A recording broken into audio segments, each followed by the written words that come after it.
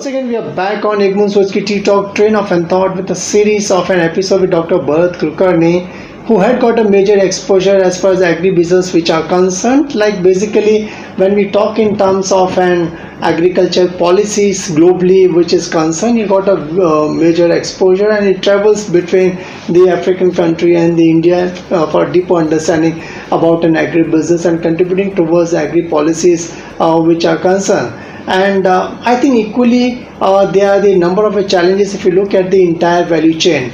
Uh, Dr. Bharat Kulkarni, now in this episode uh, we are going to talk in terms of the entire value chain which is uh, concerned right from uh, the import to the retailing aspects which are which are concerned. Now one challenge if you see in the value chain is the poor quality of end seeds and uh, the poor quality of end product at the harvest uh, uh, we talk in terms of an grain which is there like you know uh, which is inconsistent in size. How we can overcome those kind of challenges looking at this uh, value chain concept? See uh, I think uh, challenge in terms of seeds, challenge in terms of inputs, and challenge in terms of vary, varying quality of output. Mm. This has been one of the major reason why uh, the profitability in the agriculture sector is not, uh, uh say, uh, as much as it should be. Mm-hmm. Now, if you actually go to the grassroots level, uh, the seeds it's it's a, it's a cyclical reaction. Mm-hmm. so this quality of the seeds, whatever farmer grows, he retains it as a seed. So if the product quality is not good, then the quality of input would not be good. The mm. seeds are not good. It goes into uh, a bad harvest. Again, the, the, the, the same thing continues. Mm-hmm. And uh, that that is where I think we have to work on making the seed sector more reliable, mm-hmm. more affordable. Mm-hmm. Because uh, a lot of uh, times what happens is you you you depend on seed. The seed becomes so expensive that it is prohibitively uh, expensive for a farmer to use it. So we do not have a very structured supply chain of seeds, mm-hmm. and that is where we need to work at.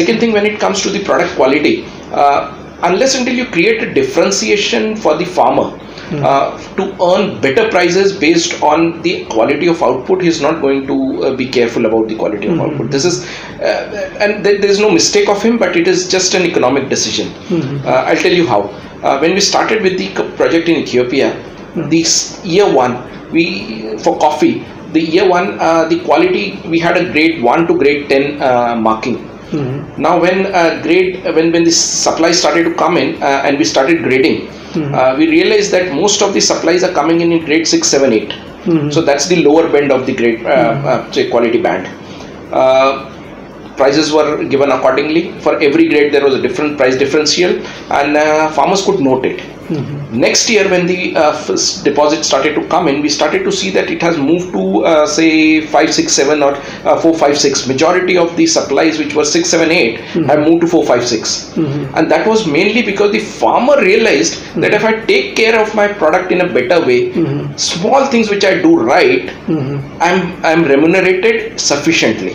So it's not that the tree started to give a better uh, crop every next year. It's not that uh, the the uh, the structuring of the value chain started to uh, affect the production. Nothing. He was doing the same thing. Only thing he started to do was focus more attention on uh, say harvesting and post harvest handling so that he retains the quality. He mm-hmm. became quality conscious. Okay. today if you go to the uh, mandi you see the, the, the there's no no no no objective standards of grading. Mm-hmm. the the trader comes in he just picks it up just uh, tosses it in the air and says oh this is not a good quality, quality and he says i'm not going to pay. you cannot yes. So when you actually have a scientific mechanism of uh, quality certifications how mm-hmm. many mandis in india have quality certification lab? Mm-hmm. very very few. Mm-hmm. so that is where we have actually been as a country we have been uh, for, for, for, for, multiple reasons. We have been completely oblivious to the importance of quality. And that is why the farmer has also decided that if I if, even if I grow a better quality product and I spend more energy, time, and money on it, uh, at the end of the day, it is going to be tossed in the market and said it's not good quality. Okay, so this is another challenge which is there as far as agribusiness which is concerned. And also we talk in terms of an inadequate threshing technology and the post-harvest. If you see like you know drying and storage, which is the biggest challenge. How to overcome that? Like. See, uh, there has to be community-based solution. Mm-hmm. Uh, we have worked on a project in, in, in Rwanda where we are now uh, providing the farmers with a very low level technology sourced from India. A low level technology platform where value addition, processing, threshing, all these things can be done uh, for, uh, th- uh, for for the producer groups as we call it. Uh, in India, since we are getting the farmer producer companies now established, the farmer computer uh, farmer producer organizations becoming more and more uh, structured, and uh, farmers coming together in a more uh, responsible manner through the uh, FPOs. I think the time has come where we need to introduce lower cost technologies, uh, more effective technologies, and bring in the uh, uh, the technological innovations, the cost of technology down through technological innovations.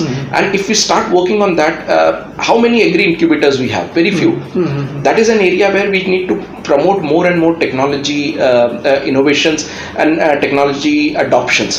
There are initiatives. There is a company in in uh, which ICAR, uh, the Indian Council for Agriculture Research, has set up, which is called as Agri Innovate, which is actually working on uh, bringing in uh, technologies which are suitable for, uh, say, um, for for adaptation and making them available to the farmers.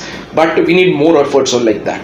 Uh, so once that thing is done, probably we can bring in the cost of uh, technology usage uh, Uh, into the affordable belt for the farmer.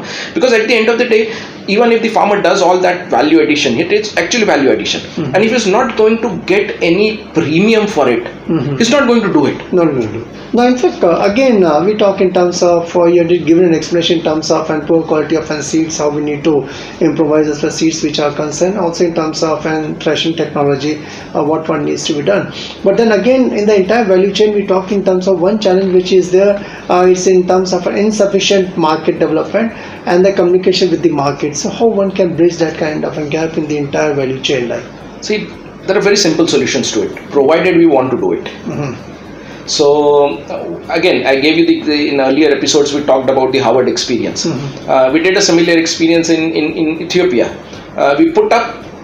Uh, say price display boards in each of the village from where the coffee was coming and we could see that the farmer would look at the price and say oh if i have to take my coffee to either uh, there are two uh, warehouses uh, say I would, I would quote. One was a city or, or, or a village called Methamma the other was uh, a village called Asosa. Now when he sees in the in the prices and he says the product deposited in Asosa is yielding better price. I go there. So th- what you have done you have done nothing just empowered him with his with information and let him decide and then also importantly you don't force him to go to the warehouse which is Methamma or the, the market which is Methamma Correct. today what happens if the farmer is in a certain particular belt he has to go to a specific mandi only. Even if a mandi uh, say 20 kilometers away from him is giving him a better price and better the, the difference is better than the transportation cost he cannot go and sell there because law doesn't allow it But here, if you see in India also ITC Choupal concept, which is there again, also they try and give the same kind of an information to the farmers. Is that effective reaching the last mile? As I think ITC e-Choupal was a wonderful initiative, but much ahead of time. Uh, the legal structures were not there uh, that ITC e- e-Choupal requires to actually expand itself and really uh, make the effective, uh, uh, say, effective mark. And uh, I think uh, similarly, the ENAM project that the government of India has launched, uh, these are initiatives that have actually brought in a wider marketing network. A farmer can actually see, sell on ENAM, and ENAM is integrated market across India. So today he is not limited to the mandi that he is going to. In the mandi, through the mandi, he can actually access the national market.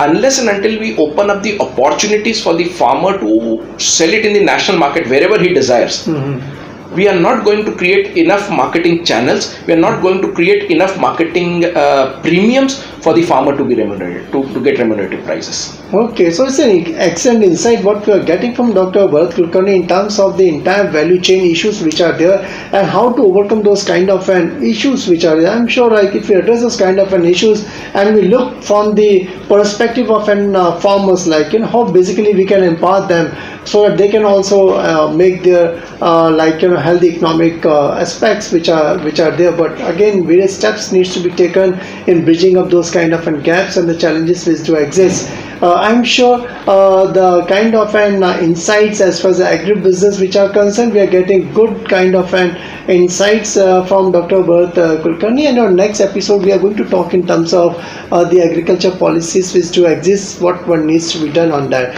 Uh, Till then, if you like this episode, just go to www.ttalk.net, uh, subscribe and like the channel as much as you can. So thanks a lot for being part Thank of you this very episode. Thank you very Thank you much. very Thank much. you.